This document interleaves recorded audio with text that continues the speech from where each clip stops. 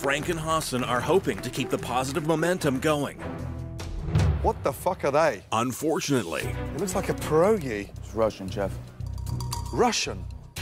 God, they're all the fucking same. You've got nothing in 20 minutes done. Disaster. Piss off. I'm speechless.